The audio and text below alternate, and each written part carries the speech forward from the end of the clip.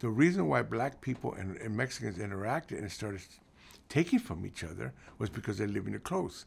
Now Mexicans took the zoot suit from the blacks, but they also changed it. You know, they made it more garish and made it more, you know, they, they added a lot, they added a Mexicanism to it.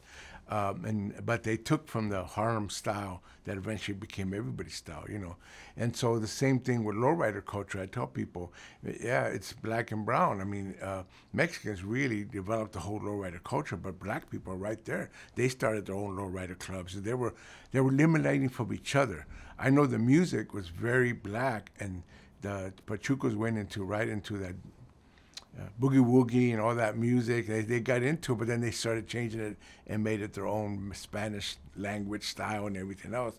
There was always this connection. Hip hop, by the way, was always black and brown. Man, it was the Puerto Ricans that helped create hip hop, all five aspects of it. And then the Mexicans right away got into it. I remember in the late 70s and early 80s when Mexicans were already doing breakdancing before anybody saw it nobody did breakdancing in LA except Mexicans. It wasn't even black people. And it was all they were getting it all from the back east. So I think what people don't get is the black and brown culture has always been and even when hip hop got low riding culture because of the West Coast and nobody knew there was Mexicans, you know, they always thought it was black people. Because I go back east and That's they say, crazy to me. yeah, they always say, oh, it's all these black people created. No, they, they were they were taken from the Mexicans. Snoop Dogg's the only guy that actually gives credit, you know. Yeah.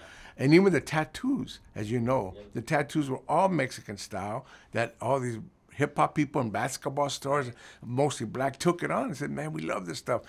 They, I talked to people back east. They got these black and gray tattoos, and they think, "Oh, we see how black people create this culture." Said, no, they took from the Mexicans. Yeah. Only certain people understand that relationship between black and brown.